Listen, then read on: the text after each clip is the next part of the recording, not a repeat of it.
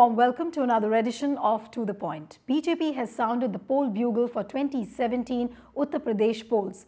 What's going to be the party's real strategy and can it repeat the 2014 magic? Joining me now is Union Minister Kalraj Mishra, also one of the senior most faces of BJP. Welcome, sir, on To the Point. धन्यवाद कलराज जी आपसे शुरू करेंगे uh, ये पूछ के कि कांग्रेस ने अपनी किसान यात्राएं निकाली उसके बाद समाजवादी पार्टी ने अपनी विकास यात्रा निकाली। अब बीजेपी ने अपनी परिवर्तन रैलीज निकाली हैं। कैसे आप लोगों को ये बताएँगे कि आप इन पार्टीज़ से डिफरेंट हैं? सबसे पहले तो ये कि जिस ढंग से इन पार्टियों ने अपनी यात्रा निकाली है उसमें कांग्रेस ने कहा किसान यात्रा लेकिन उन्होंने उनकी खाट यात्रा थी। और समाजवादी पार्टी कह रही है कि हम विकास यात्रा निकाल रहे हैं, लेकिन उत्तर प्रदेश की जनता त्रस्त है। भारतीय जनता पार्टी ने उत्तर प्रदेश के आम जनता की साइकोलॉजी को समझते हुए, उसके मनोविज्ञान को समझते हुए वो चाहती है कि यहाँ बदल होनी चाहिए।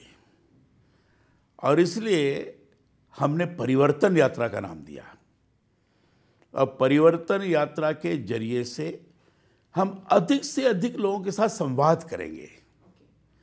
और मैं समझता हूँ कि 403 विधानसभाओं में परिवर्तन यात्रा के ज़रिए से अधिकाधिक जनता के साथ संवाद और उस संवाद के ज़रिए से वर्तमान राज्य सरकार की विफलता, ध्वस्त कानून व्यवस्था, अवरुद्ध विकास और भारत सरकार के द्वारा जो योजनाएँ दी गई हैं आम आदमी के लिए उसके बारे में उनको बताना है। इसके माध्यम से हम करेंगे। जी लेकिन जो चुनाव का एक टोन होता है जो पार्टीज़ सेट करती हैं जैसे समाजवादी पार्टी ने अपने रैली से किया कांग्रेस ने कोई भी संदेश उन्होंने जैसे किसानों के माध्यम से दिया उन्होंने टोन सेट किया कुछ लोगों का ये मानना है कि BJP is a late entrant in this entire scenario क्या इस बात से आप सहमत है कि मे भी शायद रैलीज थोड़ा और पहले से शुरू करनी चाहिए थी?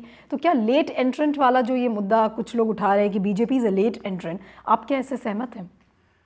भारतीय जनता पार्टी ने उत्तर प्रदेश में चुनाव की प्रक्रिया में हम तेज़ी दिखाएँ। इस हिसाब से हमने तैयारी बहुत पहले से करनी शुरू कर दी। और हमारी मान्यता है कि अगर बूथ स्तर तक आम जनता को अगर हमने मोबिलाइज कर लिया तो हमें सफलता निश्चित प्राप्त होगी। और इसलिए हमने स्ट्रेटजी बनाया कि सबसे पहले बूथ स्तर तक लोगों को हम खड़ा कर लें। बूथ स्तर तक भारत सरकार की नीतियों को हम बताएँ, बूथ स्तर तक कार्यक्रमों को दें, उसके बाद यात्रा के ज़रिए से अपने बड़े नेताओं के द्वारा वर्तमान राज्य सरकार के दुर्व्यवस्था के बारे में, उनके विकास कार्य के साथ कैसा मज़ाक कर रहे हैं उसके बारे में और भारत सरकार के द्वारा जो कुछ करना की कोशिश की जा रही है, उसको न करने के बारे में। हम लोगों के बीच में बताया गया, इसलिए हमारा बड़ा सही समय पर, उपयुक्त अवसर पर हमारे चुनावी रणनीति के आधार पर यात्रा शुरू हुई है कोई विलंब नहीं हुआ है। कुछ अखबारों में ये भी खबर निकली थी कि बीजेपी की जो स्ट्रैटेजी है परिवर्तन यात्राओं को लेके वो शायद उसमें थोड़ा क्लैरिटी नहीं है। उससे आपसे समझना चाहेंगे कि क्या ऐसा है कि चैरियट लगेगा या नहीं लगेगा रथों में? पैम्फलेट्स में किसका चेहरा जाएगा? इन सब मुद्दों पे थोड़ा सा क्लैरिटी नहीं है तो ये कैसे जस्टिफाई करेंगे आप लोगों के बीच मुझे ये लगता है कि हमारी स्ट्रेटजी बड़ी स्पष्ट है। Okay okay. जैसे हमने आपको पहले ही बताया कि हमारी स्ट्रेटजी थी पहले बूथ स्तर पर। हमारी स्ट्रेटजी थी कि बूथ स्तर पर यात्रा के पहले ही भारत सरकार के कार्यक्रमों को हम कैसे लागू कर रहे हैं इसको बता दिया जाए। हमारी स्ट्रेटजी थी कि अपने बड़े बड़े नेताओं के कार्यक्रम के ज़रिए से आम जनता को हम भारतीय जनता पार्टी की तरफ़ उन्मुख करें। और हमारी स्ट्रेटजी थी जिस तरीके से उत्तर प्रदेश के अंदर जंगल राज हो गया है, विकास कार्य अवरुद्ध हो गया है और समाजवादी पार्टी के अंदर ज़बरदस्त तरीके से टूटन हो रही है। उसको लोगों के सामने बताया जाए और जनता स्वाभाविक रूप से अनुभव करने लगे कि भाई बदल होनी ज़रूरी है। अब जनता स्वाभाविक रूप से अनुभव करने लगी है, बदल होनी ज़रूरी है और विकल्प के रूप में केवल भारतीय जनता पार्टी है, हमने शुरू किया। इससे बढ़कर पे करके स्पष्टता और क्या हो सकती है? लेकिन कलराज जी, ये भी देखा गया है कि यूपी का जो एक माइंडसेट है अर्बन के अलावा बहुत सारे रूरल वोटर्स भी हैं। उनके बीच में कास्ट का जो मुद्दा है, जातिवाद का मुद्दा है, वो भी बहुत अहम मुद्दा है। और बीजेपी हमेशा ये कहती है कि हमारे लिए, हमारी पार्टी के लिए विकास ही एकमात्र मुद्दा है जिसको हम लोगों के बीच में लेके जाएँगे। तो यूपी की जब इलेक्ट्रेट में आप जाएँगे तो क्या सिर्फ़ विकास के मुद्दे पर चुनाव जीतना संभव हो पाएगा? सिर्फ़ विकास के मुद्दे को लेकर। जो हम विकास की बात कहते हैं, विकास की बात के साथ साथ एक बात और कहते हैं।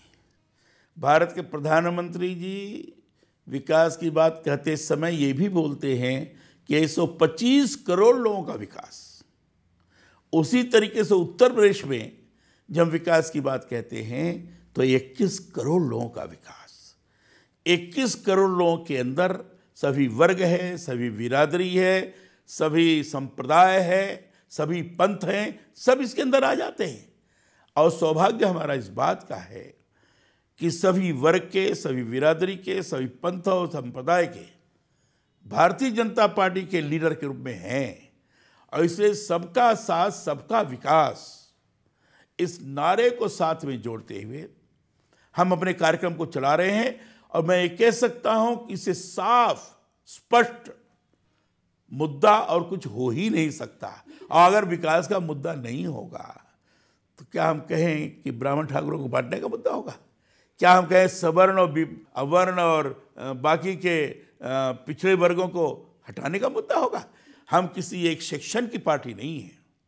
हम पूरे समाज की पार्टी हैं। पूरे देश की पार्टी है। और इसलिए हमारे निगाह के सामने पूरा प्रदेश है, प्रदेश का विकास है, जो आर्थिक असंतुलन है, वो उसको कैसे ठीक किया जाए, ये है। लेकिन अगर बीजेपी इतनी कॉन्फिडेंट थी कि सिर्फ़ विकास के मुद्दे पर चुनाव जीता जा सकता था तो ऐसा क्या कंपल्शन था कि बीजेपी ने जैसे अपना दल जैसी पार्टियाँ हैं, सुहेल देव भारतीय समाज है, ऐसे छोटे छोटे गुटों को भी बीजेपी ने अपने साथ लेने की कोशिश की है। क्या ये एक स्ट्रैटेजी का हिस्सा है? या कहीं ना कहीं ये बीजेपी को रियलाइज़ हो गया था कि सिर्फ़ चुनाव विकास के मुद्दे पे नहीं, बल्कि इन छोटे गुटों को भी साथ में लेके चलना पड़ेगा, तभी चुनाव जीत सकते बीजेपी का दृष्टिकोण बड़ा साफ़ है। और बीजेपी का दृष्टिकोण है कि हम सबको साथ में लेकर, अपने साथ जोड़कर, अपने कार्यक्रमों को उनके सामने प्रस्तुत करते हुए विश्वास में कैसे ले सकें, इस प्रकार के प्रक्रिया को अपनाकर हम आगे बढ़ें। और इसलिए जो छोटे दल की आप बात कह रही हैं, वो चाहे अपना दल हो, चाहे और भी छोटे छोटे दल हैं, उनको लगा कि नहीं, बीजेपी ठीक सोच रही है। उनको लगा कि बीजेपी पिछड़े, दलित अति पिछड़े, इन सब लोगों की भी पार्टी है। और इसलिए इस प्रकार के नाम पर जिन्होंने पार्टी बनाई थी, उनको लग रहा ना, नहीं, बीजेपी तो कर रही है, हमें बीजेपी के साथ जुड़ना चाहिए। और इसलिए सब जुड़े हैं, सबको साथ में लेकर हम चलें चूँकि पूरे प्रदेश को हमें सुदृढ़ बनाना है, सक्षम बनाना है, विकसित बनाना है, इसे सबको साथ में लेकर चलना ज़रूरी है, इसलिए हम चल रहे हैं।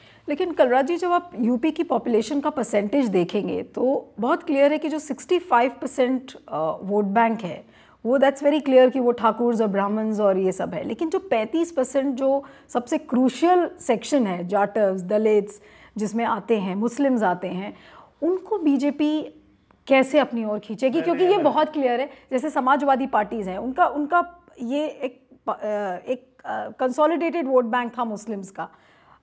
और जिस जिसको कि बीएसपी अब अपने तरफ़ खींचने की कोशिश कर रहा है because Mayawati is trying to consolidate a coalition of Dalits and Muslims तो बीजेपी की ऐसा कोएलिशन बनाने के लिए बीजेपी की क्या रणनीति होगी? कैसे आप इस थोड़ा सा मैं आपके आंकड़े को बदलना चाहता हूँ। अच्छा ठीक है। ये आंकड़े एकदम उलट हैं। ओके पैंतीस फ़ीसदी में बाकी के सवर्ण और ये सब जिनकी आप बात कर रही वो आते हैं। और बाकी में जो पिछड़े हैं अति पिछड़े हैं ये सब लोग मिल करके आ जाते हैं। इसलिए हम तो सबको साथ में ले रहे हैं। हम तो पैंसठ परसेंट वालों को भी साथ में ले रहे हैं और पैंतीस प्रतिशत वालों को भी साथ में ले रहे हैं। अरे, हम तो पंद्रह प्रतिशत, सोलह प्रतिशत या सत्रह प्रतिशत जो मुस्लिम मतदाता है, उनको भी साथ में ले रहे हैं। क्योंकि हमारे निगाह में पूरा 21 करोड़ है। 21 करोड़ जो उत्तर प्रदेश की जनता है, वो पहले ही मैंने कहा किसी भी संप्रदाय की होगी। हम सत्ता में हैं तो हमारी ज़िम्मेदारी सबकी सुरक्षा की, सबके विकास की और सबको रोज़गार प्रदान करने की। तो इसका मतलब बीजेपी को इस समय ये डर नहीं है कि अगर दलित एक कंसोलिडेटेड वोट बैंक बीएसपी का था या अगर मुस्लिम्स एक consolidated vote bank Samajwadi party का था, इसलिए बीजेपी इस समय हंड्रेड परसेंट कॉन्फिडेंट है कि सारे लोग उसके लिए ही वोट करेंगे। पार्टी को इस समय ये डर नहीं है कि क्या एक समाज का एक तबका में भी किसी किसी रीजनल पार्टी की तरफ़ जाएगा और बीजेपी की तरफ़ नहीं आएगा।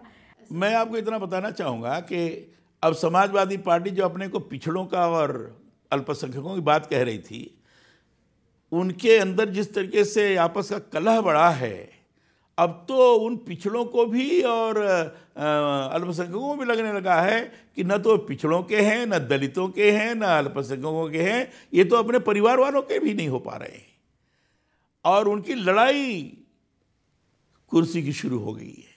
जब वो आपस में कुर्सी की लड़ाई कर रहा है, वो कैसे करेगा? वो इन लोगों के भावना का शोषण किया है लोगों ने। इसी तरीके से दलितों का नाम पर जो बहुजन समाज पार्टी के नेत्री काम करती रही हैं, दलितों को भी लगने लगा है कि दलितों के नाम पर तो ये एकदम मुखिया के रूप में ये बनी रही, मुख्यमंत्री रही, लेकिन दलितों का जैसा उन्नयन करना चाहिए, जैसा कल्याण करना चाहिए, वो नहीं कर पा रही हैं। बीजेपी की आलोचना करने से नहीं होता है। आपने कार्यक्रम क्या रखा है? आप दलितों के उत्थान के लिए काम क्या आपने किया है? इसको तो बताइए। वो नहीं बता पा रही है। हमने तो बताया है कि हम दलितों के लिए ये कर रहे हैं ये कर रहे हैं ये कर रहे जैसे पार्टी प्रेसिडेंट अमित शाह ने भी बोला था कि ये चाचा भतीजा विवाद जो खड़ा हुआ है तो उससे लग रहा है कि आपको बीजेपी को फ़ायदा होगा। मैंने कहा ये अंतर अंतर कलह अंतर कलह जनता पसंद नहीं करती है। और ये ये बात सही है कि लोकतंत्र में पार्टी के अंदर जब टूटन होती है कोई भी पार्टी हो वो लोकतंत्र के लिए अच्छा नहीं होता है। मेरे निगाह में समाजवादी पार्टी का टूटन मेरे लिए अच्छा नहीं है क्योंकि लोकतंत्र इससे थोड़ा सा कमज़ोर पड़ जाएगा। पार्टी में टूटन नहीं होनी चाहिए। लेकिन, लेकिन, तो लेकिन, लेकिन लेकिन लेकिन जब संकुचित दृष्टि होती है और ऐसी दृष्टि होती है जिसमें व्यक्ति व्यक्ति के अंदर लगता है कि मैं मैं ही सब कुछ करूँ। और जब मैं नहीं पूरा होता है, तब लड़ाई होती है। चाहे परिवार हो, चाहे घर हो, चाहे पार्टी हो। समाजवादी पार्टी के अंदर वही हुआ है। ये लोकतंत्र के लिए भी खतरनाक है। प्रदेश के लिए भी खतरनाक है। उनका टूटन आज प्रदेश के अंदर अराजकता पैदा कर दिया है। और इसलिए प्रदेश की जनता बदल चाहती है। और इसलिए हमने परिवर्तन यात्रा निकाला है।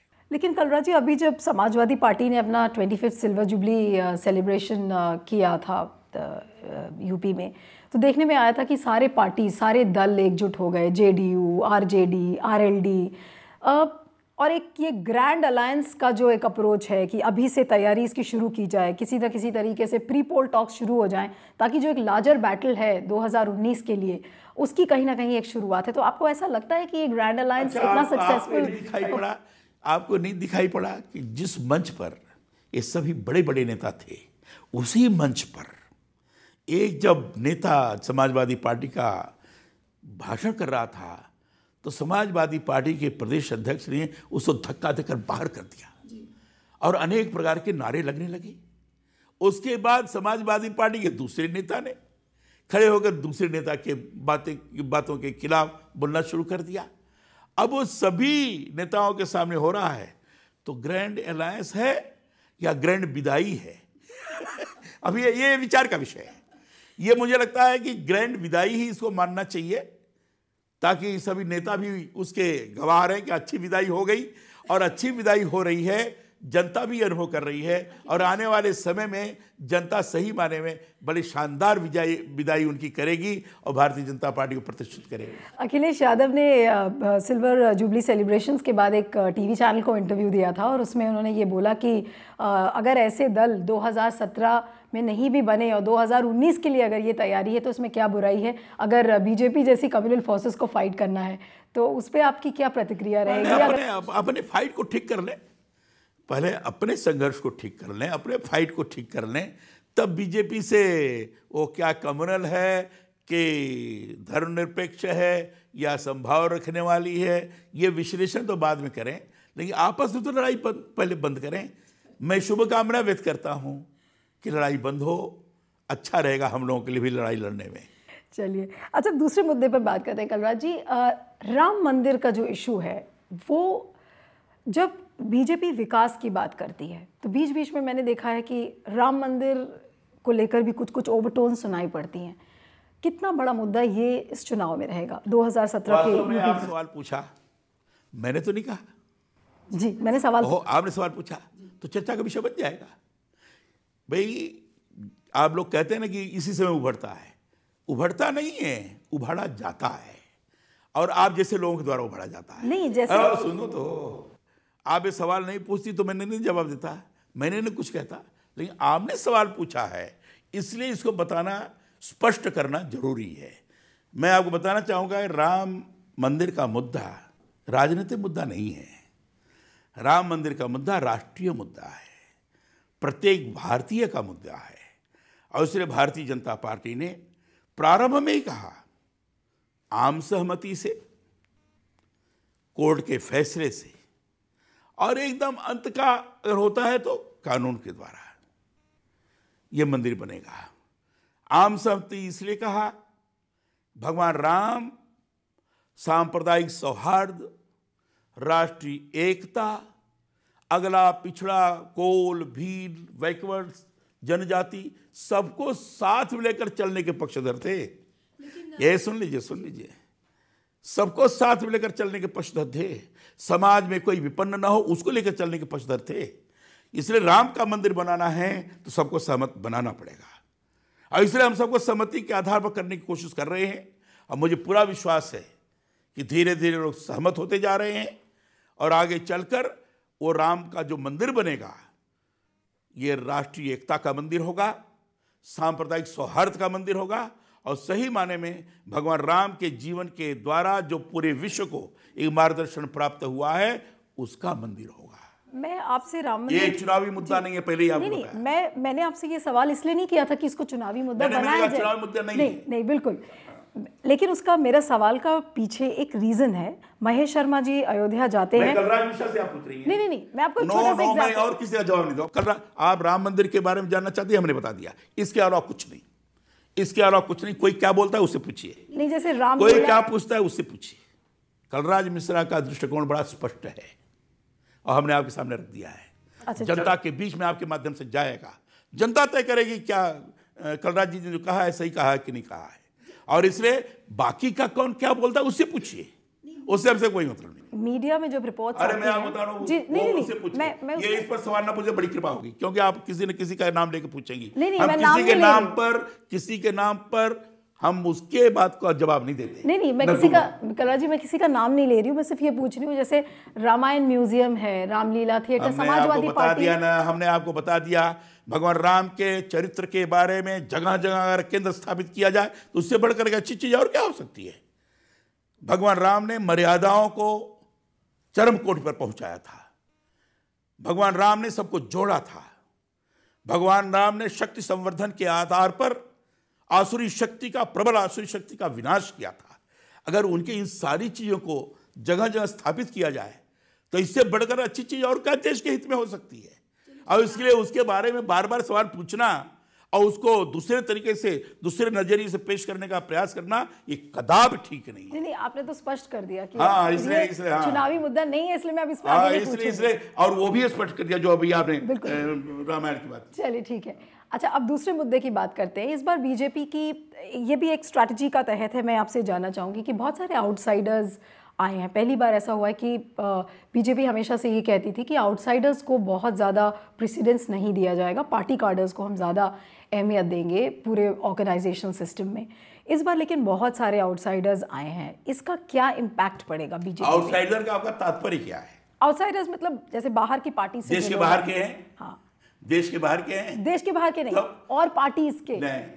आउटसाइडर अगर आप देश का बाहर रहता कोई तब तो समझ में आता। हमारी पार्टी इस समय विश्व की सबसे बड़ी पार्टी है। ग्यारह करोड़ हमारे सदस्य बने हैं।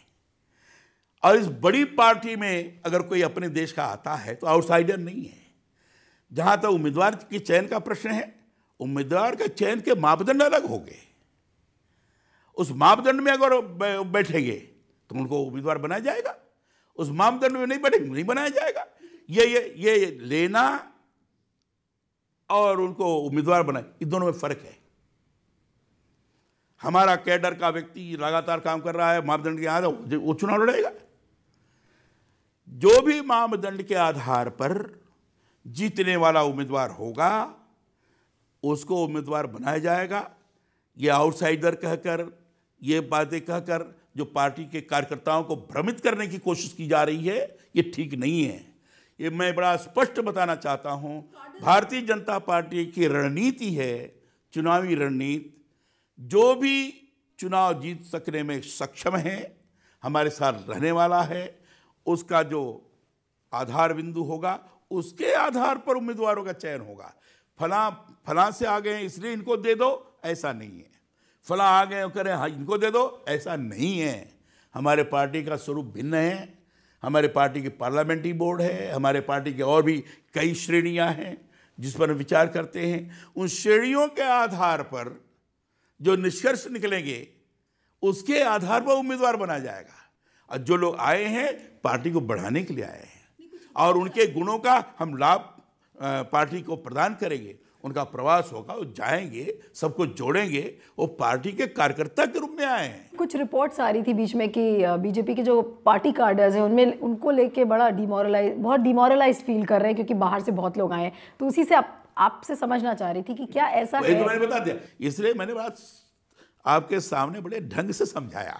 अब इससे अच्छा समझ और क्या ठीक है अगले पार्टी के कार्यकर्ताओं को कैडर को आपके माध्यम से मैं यही कहना चाहता हूँ कि जो भी कार्यकर्ता जिस क्षेत्र में काम कर रहा है जैसे उम्मीदवारों के चयन के बारे में हमेशा मापदंड निश्चित किया जाता रहा है उसके आधार पर ही उम्मीदवारों का चयन होगा। ये ये आधार नहीं बनेगा कि फला इस पार्टी से आया है इसलिए टिकट दे दो। ये आधार नहीं बनेगा। और इसलिए पार्टी के कार्यकर्ताओं को अन्यथा लेने का सवाल नहीं। पार्टी के कार्यकर्ताओं को मेरा आपके माध्यम से ये आग्रह है कि जो लोग भी आए हैं, पार्टी को आगे बढ़ाने में, चुनाव में विजयी बनाने में उनको साथ में लेकर के आगे बढ़ें। उम्मीदवारों का चयन अपने मापदंड के आधार पर ही होगा। एक बहुत अहम सवाल लास्ट पड़ाव पे हूँ इंटरव्यू के। चीफ मिनिस्टरियल मुद्दा जब उठता है कि बीजेपी से चीफ मिनिस्टर कौन बनेगा? बहुत सारे फेसेस हैं। सबसे सीनियर तो आप ही हैं। और उसके बाद केशव प्रसाद मौर्य जी का नाम आ रहा है। कभी कोई कहता है कि योगी आदित्यनाथ हैं। फिर बीच बीच बीच में सुनाई पड़ रहा था कि वरुण गांधी भी चाहते थे, वो भी चीफ मिनिस्टर बनना चाहते हैं। तो बहुत सारे ऐसे ऐसे कैंप्स नज़र आ रहे हैं और बहुत फेसेस हैं। अब तो क्या बीजेपी चीफ मिनिस्टर अपना डिक्लेयर करेगी चुनाव के पहले? मुझे तो बड़ी प्रसन्नता की बात है कि मीडिया की तरफ़ से भी, बाकी जो स्टोरी लिखने वाले हैं, उनके तरफ़ से भी कम से कम इतना ये स्वीकार किया जा रहा है कि भारतीय जनता पार्टी के अंदर इतने अच्छे लोग हैं, कई लोग, जिनको मुख्यमंत्री के रूप में बनाया जा सकता है। ये बात तो स्पष्ट हो गई। लेकिन हमारे यहाँ ये प्रक्रिया है और प्रक्रिया पार्लियामेंट्री बोर्ड तय करता है। पार्लियामेंट्री बोर्ड तय करेगा कि हमें नेता किसको बनाना है। और इसे पार्लियामेंट्री बोर्ड के ऊपर आधारित है। कलराज मिश्रा या कोई अलग अलग से नाम ले लेगा ऐसा सवाल नहीं है। पार्लियामेंट्री बोर्ड जिसको तय करेगा वही हमारा नेता बनेगा। और इनमें से जितने लोगों का नाम लिया ये सक्षम लोग हैं कोई ऐसे खराब लोग तो नहीं है। सभी सक्षम हैं। असम इलेक्शंस में बीजेपी की रणनीति ये थी कि सरमंदा सोनोवाल जी का नाम पहले से डिक्लेयर किया गया था। वो स्थान स्थान की बात अलग है। हर स्टेट की हर स्टेट की वहाँ के स्वभाव के आधार पर वहाँ के प्रकृति के आधार पर वहाँ के सारे राजनीतिक परिस्थिति के आधार पर स्ट्रेटजी बनती है। आसाम के अंदर लगा कि वहाँ घोषणा करी, लोगों घोषणा किया। यहाँ जैसा लगेगा, पार्लियामेंट्री बोर्ड विचार करेगी। जैसा लगेगा, पार्लियामेंट्री बोर्ड वैसा करेगी। स्ट्रेटजी तो क्षेत्र के आधार पर, स्थान के आधार पर, परिस्थिति के आधार पर, कहीं भी, चाहे युद्ध की भी रणनीति बनाएगी, उसी आधार बनता है। चाहे चुनाव की रणनीति बनाएगी तो उसी आधार बनता है। इन सारी चीज़ों के आधार पर स्ट्रेटजी बनती है। और स्ट्रेटजी के निर्णायक हैं हमारा पार्लियामेंट्री बोर्ड। और इससे जो निर्णायक है उसके बारे में मैं कुछ कहूँ ये उपयुक्त नहीं है। तो मैं क्या ये मान लूँ कि बीजेपी में जो बीजेपी अपना चीफ मिनिस्टरियल कैंडिडेट शायद चुनाव के पहले नहीं डिक्लेयर करेगी? आपके कहने के हिसाब से ये लगा आप मान ले या न माने वो आपका अपना विषय है। अच्छा। लेकिन हमारा तो पार्लियामेंट्री बोर्ड तय करेगा। वो पहले तय करता है कि बाद में तय करता है उसके ऊपर निर्भर करता है। आपने एक शब्द भी इस्तेमाल किया था अपना इंटरव्यू उस शब्द से ख़त्म करूँगी आपने युद्ध की बात की थी। आ, मैं जितनी भी जगह यूपी में अभी पिछले एक महीने में मैंने ट्रैवल किया वहाँ पे ज़्यादातर एम ने सर्जिकल स्ट्राइक्स को एक इशू बनाने की कोशिश किया है। आ, आप एक बहुत सीनियर लीडर हैं आपसे ये जानना चाहेंगे कि सर्जिकल स्ट्राइक्स को एक चुनावी मुद्दा बनाना कितना जस्टिफाइड है? मैंने आप बताया ना मुद्दा हमारा जो स्ट्रेटजी कार लोग हैं, जो चुनाव लड़ाते हैं, वो मुद्दे सुनिश्चित करेंगे। आपने एमपी से सुना होगा, बाकी वो तो अलग प्रश्न है। लेकिन स्ट्रेटजी जो बनेगी, हमारे जो चुनाव लड़ाने वाले लोग हैं, उनके द्वारा स्ट्रेटजी बनाई जाएगी। इसलिए उसमें वो क्या होगा, क्या नहीं होगा, मैं नहीं जानता। लेकिन इतना ज़रूर मैं जानता हूँ, क्या लोगों को लगने लगा है कि अगर दुश्मन देश पाकिस्तान हमारे सीमा का उल्लंघन करता है पहले करता रहा, लेकिन उस प्रकार का प्रतिकार नहीं होता था। ये पहली बार ऐसा हुआ कि आतंकवादियों के माध्यम से हमारे जवानों को जवानों को मरवाया जाता था। आतंकवादियों के माध्यम से हमारे यहाँ उपद्रव कराया जाता था। ये पहली बार ऐसा हुआ कि हमारे देश के लोगों ने, सैनिकों ने, हमारे देश के गुप्तचरों ने ये सारी जानकारी करते हुए कि कहाँ आतंकवाद का गढ़ है, कहाँ से लोग आ रहे हैं उन सबों का पता करके अंदर जाकर, जो विनष्ट किया है तो केवल हिंदुस्तान को संदेश नहीं है, पूरी दुनिया को ये संदेश दिया गया कि जो आतंकवादी लोगों के अंदर आतंक पैदा करते हैं, सारी व्यवस्था को ध्वस्त करते हैं, उन आतंकवादियों को, चाहे कहीं भी हों, उनको विनष्ट किए बगैर राजनीति ठीक नहीं चल सकती है, देश आगे नहीं बढ़ सकता है। हमारे यहाँ, हमारे देश के नेतृत्व ने प्रधानमंत्री जी और उनकी टीम ने इस प्रकार का जो भी विचार करती है, विचार करते हुए स्ट्रेटजी बनाकर यह कार्य किया। ये निश्चित रूप से जनता ने भी इसको पसंद किया है, कार्यकर्ता तो पसंद करता ही है और दुनिया के देशों ने भी इसकी तारीफ़ की है। और इसलिए इसे जहाँ तक मुद्दे का सवाल है, मुद्दे के बारे में तो स्ट्रेटजी करने वाले लोग तय करेंगे। लेकिन इसकी तारीफ़ सभी ने की है, इतना मैं आपसे कह सकता हूँ। Thank you so much sir for coming on to the point That's it on this episode. See you next time with another personality. Goodbye and thanks for watching.